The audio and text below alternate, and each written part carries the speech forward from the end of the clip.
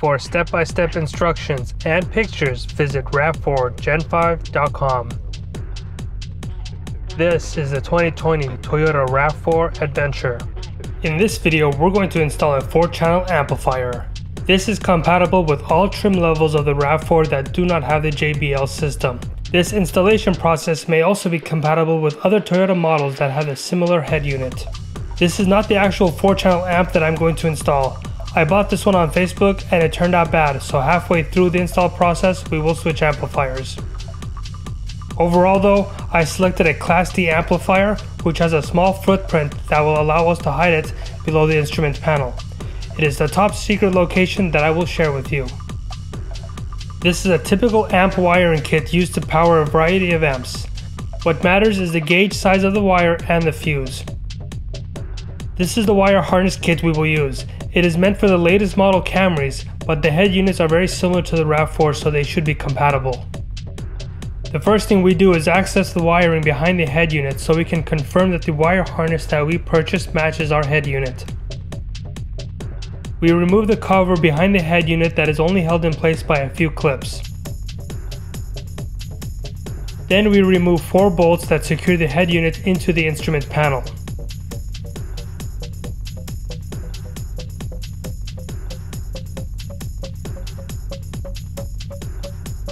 Once all of it is removed, we can pull the head unit out.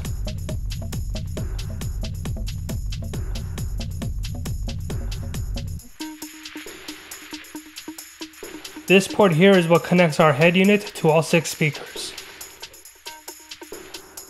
If we follow this wire to the back, we can see that it splits into two, one for the left side and one for the right side. This piece is supposed to connect to our head unit. This other piece is what connects to the wires that go to our speakers.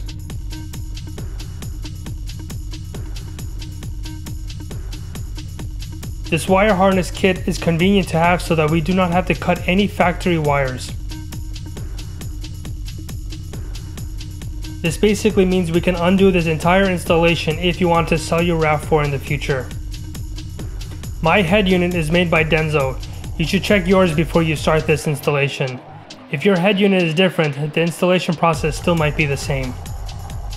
Our wire harness is labeled with the speaker location and the positive and negatives of each pin that come from the head unit. I will confirm that it is correct before we do the entire installation process by using a voltmeter to check the conductivity between the head unit and the individual speaker. I do this off camera and I can confirm that the labels on the wires are correct. With that information, we now know the pin layout of our head unit. If we look at the backside of our head unit, the far two left pins are blanks.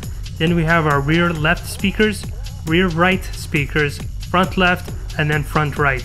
This is the wiring layout of an unmodified RAV4. Each arrow represents a channel that goes to a speaker. The two arrows on top go to dash speakers and the front doors in parallel. The bottom arrows go to the rear doors. Each channel has two wires, a positive and a negative. This is why we have 8 wires coming out of our head unit that go to the 6 speakers. This is what we are going to achieve after we are finished. This is unique here in that the dashboard and the front door speakers are no longer connected. The head unit will power the dashboard speakers and that same signal will go to the amp to power the front doors. If you are going to add a subwoofer like I did in my last video, this is what you want your layout to look like. The subwoofer signal comes from the rear door channels between the head unit and the amplifier. I am not sure if it's a good idea to amplify twice the signal going to the subwoofer, since our subwoofer already has a built-in amplifier. This may introduce more noise. This is our head unit connected to the high-level inputs of the amplifier. You can see the amp is different than what I showed earlier in this video. On the other side of the amp is the speaker out signals.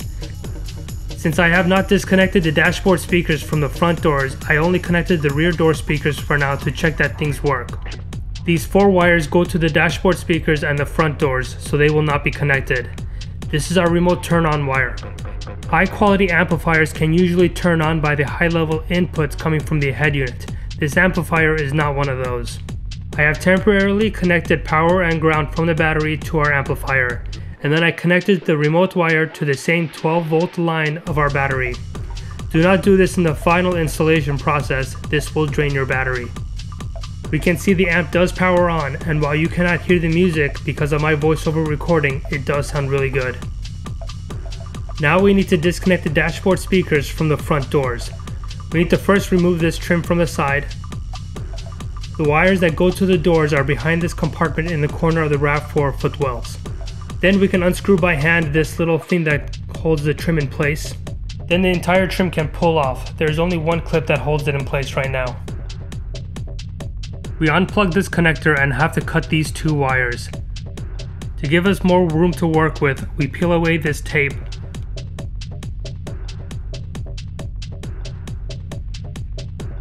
And then we can cut these two wires and then connect it back to the socket.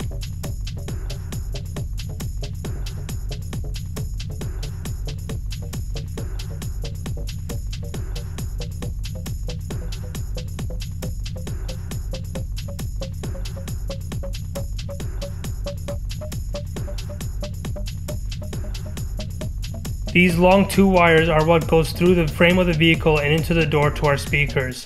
We will connect the amplifier to these two wires. Here is a top secret location where we will hide the amp, practically right under our feet. There are three clips that hold this cover in place. We can also hide an amplifier under the passenger seat depending on how much clearance you have.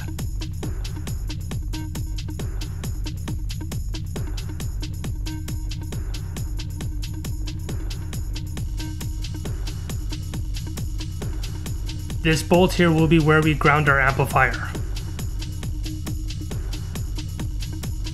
There is not enough room to hide the amp behind the head unit. Also, it might overheat from being almost under the sun all day. What is also convenient about our amp location is that we can send wires from inside the instrument panel, further making everything hidden. I shine a light where the amp would go and you can see it from the top where the head unit would be. Here is some further proof of wiring being sent down.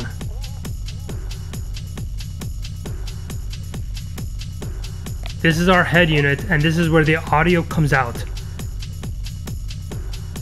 This wire harness connects to our head unit.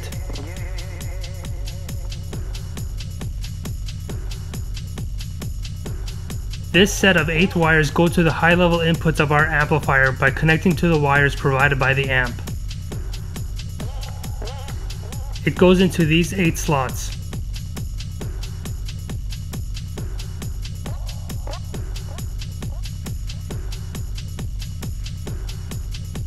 This is the speaker outside, and this is where things get crazy. Four of the wires go directly to the front door from the amplifier. The other four wires need to go back up to the head unit location and connect to the other wire harness to go to the rear speakers.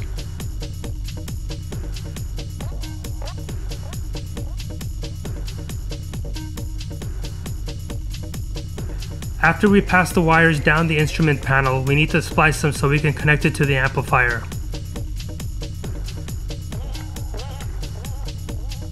On the speaker out side of the amplifier, we connect directly to the front door speakers.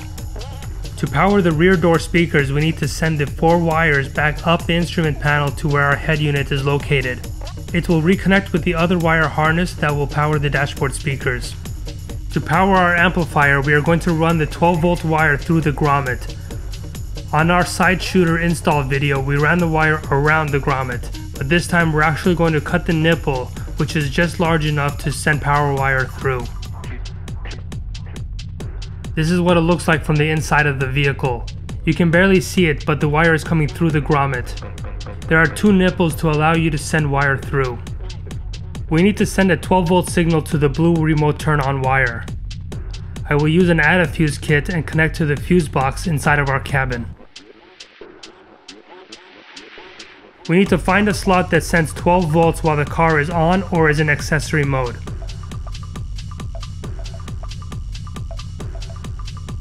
This empty slot actually works for what we need, and I use this Add-A-Fuse kit to run signal to the amplifier. This is the Add-A-Fuse where I tap in for the 12 volt signal. I will also use this 12 volt power line to power the dash cameras. The remote wire is connected to our fuse box. This power wire is connected to our amplifier and that bolt over there is where we ground our amplifier. From our last video, this is the subwoofer wire that I connect all the way to our preamp signal coming out of our head unit. If I do a cost summary like I did in my subwoofer video, our new total comes out to around $600. This is about $1,000 less than the JBL system provided by Toyota. Overall, if you want a better sound experience, an amplifier and door speakers can help you get there. If you are going to upgrade your door speakers but not install an amplifier, you will lose some bass. The head unit does not provide enough power to supply new door speakers, but I do think you can get away with a good system by upgrading your dashboard speakers and installing a subwoofer. I felt like it was difficult to explain how to install a 4 channel amplifier using the wire harness in this video, so if you do have any questions, leave a comment below or check out my website for more diagrams that can help explain this installation process even more.